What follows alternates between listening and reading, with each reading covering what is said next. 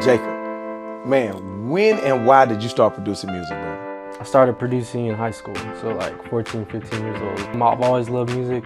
I've always been a big piano player. Inspirations, Kanye, Diplo, Beethoven, come from a classical background. I definitely was gonna ask who was your favorite classic pianist. When you start saying stuff like that, do you have like a favorite? Well, the first song I taught myself how to play was the Fur Elise, and I was like eight years old. So I always stuck with Beethoven. Do you have a favorite music moment or maybe studio session that you could share with us? Like what like what is what is a music moment that stands out to you? Cool moment would just be like realizing how like I guess singled out I felt growing up or like being in school and stuff and I always went to like the piano room you know and I just mm. kind of stayed there. Later on I will think back like okay I've been doing this I've been doing this.